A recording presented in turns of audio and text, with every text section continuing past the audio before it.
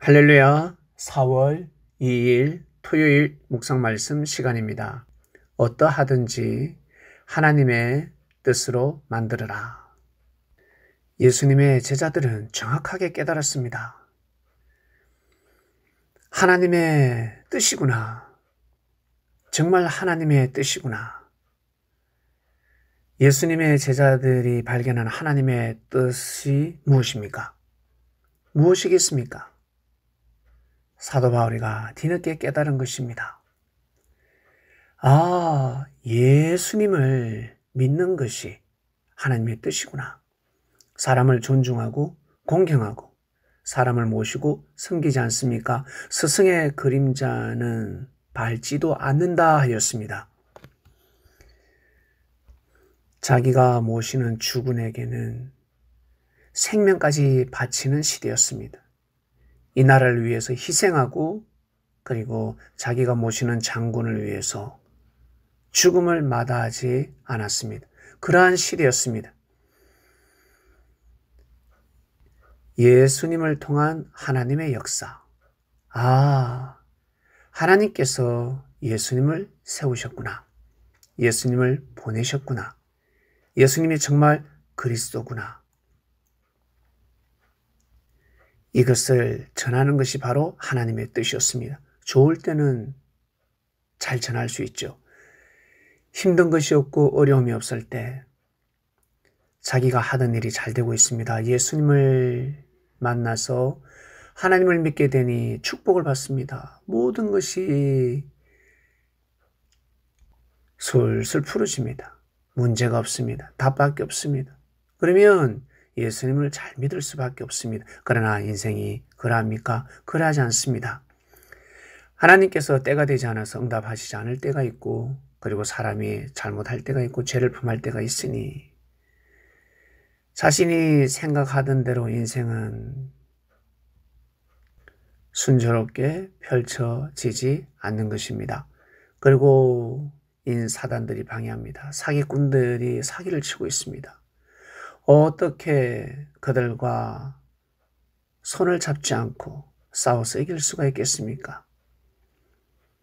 그 계략들을 피해갈 수가 있겠습니까? 참으로 어려운 것입니다. 어려운 가운데에서, 힘든 가운데에서, 고통 가운데, 역경 가운데, 하나님의 뜻, 내가 생각하는 하나님의 뜻이 일어나지 않는다. 내가 생각하는 하나님의 뜻이 일어나지 않는다. 기도해도 비가 오지 않는다. 엘리야 시대 때 그토록 기도를 합니다. 비가 올 리가 있습니까?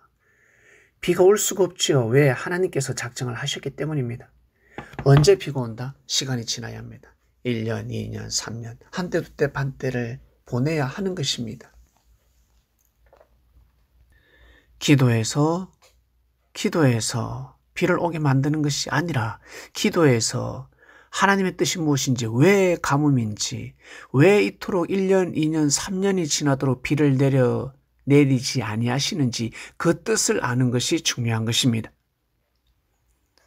이스라엘 백성들, 예수님의 제자들, 그리고 사도 바울, 하나님의 뜻을 정확하게 알아야 했으며, 그리고 하나님의 뜻을 믿고 순종하며 섬기며 살아갔어야 합니다. 사람은 사람을 섬기게 되어 있습니다. 모시고 섬깁니다. 죽으라 그러면 눈이라도 감는 시대였습니다. 그런데 예수님을 못 믿는다. 예수님을 섬기지 못한다. 예수님을 공경하지 못한다. 예수님을 존중하지 못한다. 아, 참 이것이 뭐라고 할까? 진짜 불가능한 시대였습니다. 불가능을 가능케 만들어 버렸습니다. 그러한 분을 십자가에 못 박는다. 이것은 원래 불가능한 일입니다. 그런데 불가능을 가능케 했습니다. 왜? 사람은 불가능을 가능케 하니까. 진짜 불가능한 일이었습니다. 그런데 그 일을 해내 버렸습니다. 참으로 무지한 자들, 무지한 백성들이었습니다. 첫 번째, 어떠한 일이 있어도 어떠하든지 어쨌든 간에 무조건 하나님의 뜻을 만들어야 합니다. 예수님이 그리스도 메시아라는 것을 잃어버리면 아니 됩니다. 이것이 바로 첫 번째입니다. 두 번째는 무엇이겠습니까? 형제들에게 해당이 되지요. 형제들에게. 형제들에게 예수님의 가르침을 보이는 것입니다. 예수님의 가르침을 반드시 전파해야 합니다. 무엇으로? 사랑으로. 물질을 베풀기도 하고 그리고 형제의 마음을 어루만져 줍니다. 봉사를 하는 것입니다. 도와주는 것입니다. 배려를 하는 것입니다. 격려하는 것입니다. 칭찬을 하는 것입니다. 응원을 하는 것입니다. 기도해 주는 것입니다. 이렇게 하나님의 뜻을 만드는 것입니다. 내가 힘들고 어려울 때 누군가 필요하지 않습니까? 누군가 나를 위해서 기도해 주면 좋겠다 하지 않습니까? 형제가 어려울 때 기도해 주는 것입니다. 형제가 어려울 때 격려해 주는 것입니다. 형제가 형제의 그 허물 때문에 단점 때문에 죄의 굴레에서 빠져나오지 못하고 있습니다. 단점인데 죄가 아닌데 단점에 빠지고 빠지고 빠지면 죄를 범할 수가 있습니다. 기도를 해줘야 합니다. 격려를 해줘야 됩니다. 칭찬을 해줘야 됩니다. 용기를 줘야 합니다. 왜? 우리도 그렇게 살아왔으니 누군가 나에게 그렇게 해주면 좋지 않습니까? 하나님의 뜻을 멀리 보지 마시길 바랍니다. 내일이 아니라 오늘인 것처럼 멀리 있는 사람이 아니라 가까이 있는 사람들, 여러분 주위 살고 있는 그리스도인, 섭리인들, 이것이 바로 첫 번째입니다. 그리고 두 번째는 여러분의 지인들입니다. 누가 내 형제요, 자매요, 하나님의 뜻대로 행하는 자, 믿고 함께 가는 자가 형제이지 않겠냐. 말씀처럼. 그리고 진짜 피를 나눈 형제들, 지인들을 보살펴야 되는 것입니다. 집안의 형제들, 그리고 친구들, 그리고 회사에서 인연을 맺은 사람들, 그들을 통해 하나님의 뜻을 만들어 나가야 합니다. 나는 그리스도인이다. 나는 그리스도인이다. 예수쟁이라는 소리를 들으면 아니 됩니다. 아, 예수님의 제자다. 예수님을 사랑하는구나. 저 사람은 아, 정말 하나님을 사랑한다. 정말 예수님을 사랑한다. 이런 소리를 들어야지 예수쟁이다. 예수쟁이다. 이런 소리를 들으면 아니 됩니다. 네가 신앙생활 하는데 아 보기 좋다. 참으로 보기 좋다. 이런 소리를 들어야 합니다. 너 신앙생활 하지 마라. 너 신앙생활 하는 거 맞니? 신앙생활 안 하는 것이 낫겠다. 너는 신앙생활 안 하는 사람처럼 보인다. 교회를 안 다니는 것 같은데? 술 잘 먹네.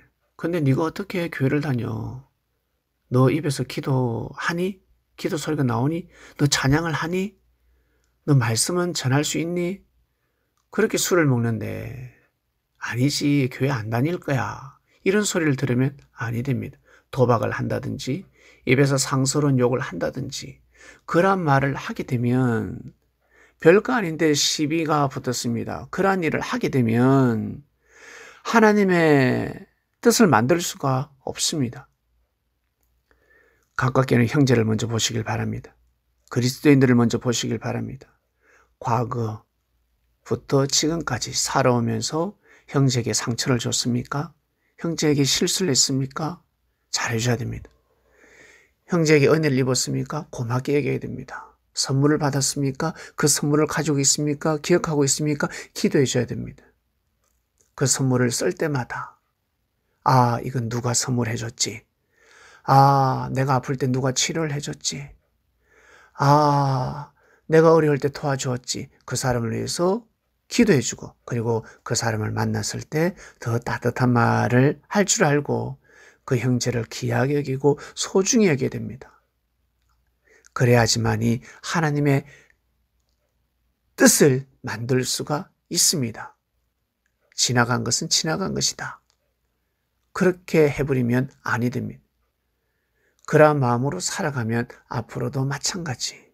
앞으로도 마찬가지. 좋은 사람 다 잃어버립니다. 그리스도인들을 만난다. 예수님의 제자를 만난다. 내가 섭리인이 된다. 하나님의 진리 말씀을 듣고 예수님을 믿는다.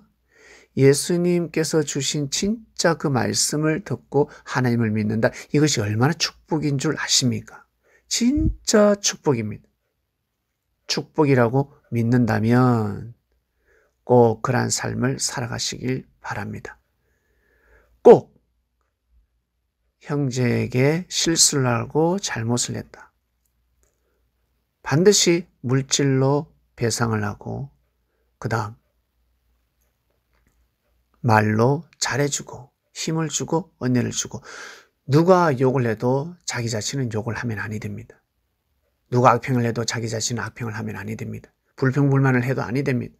항상 좋은 마음을 가지고 좋은 말을 해야 되는 것입니다. 그것이 바로 자기 자신이 전해야 하는 하나님의 말씀입니다. 현재의 기분, 감정을 가지고 말을 해서는 아니 됩니다. 그 사람이 자기 자신에게는 어떠한 사람인지, 저 형제는 나에게 어떠한 사람인지, 현재만 보지 말고, 그리고 저 사람은 어떠한 일을 하고 있는지, 하나님 역사 앞에 어떠한 일을 하면서 가고 있는지, 어떠한 도움을 주고 있는지, 어떠한 일을 하는지, 정성을 들이는지, 수고하고 애쓰는 자인지, 그런 것까지 다 생각해서 말을 할 줄 알아야 합니다. 그래야지만이 하나님의 뜻을 만들 수가 있습니다. 그래서 아무나 선지자가 될 수가 없었고, 아무나 예수님의 제자가 될 수가 없었습니다. 이번 주 말씀이었습니다. 귀한 하루 되시길 바랍니다. 하나님 아버지 감사합니다. 귀하고 귀한 말씀을 듣고 하루를 출발합니다. 저희들에게 은혜를 베풀어 주셔서 하나님의 말씀을 듣고 삶을 살아가게 되었으니 항상 기도하고 찬양하며 말씀을 묵상하고 삶을 살아가는 이 시대의 그리스도인이 되길 원합니다. 내일은 또 새로운 말씀을 받습니다. 귀한 말씀, 거룩한 말씀 잘 받게 하여 주시옵소서 예수님의 이름으로 기도드립니다. 아멘.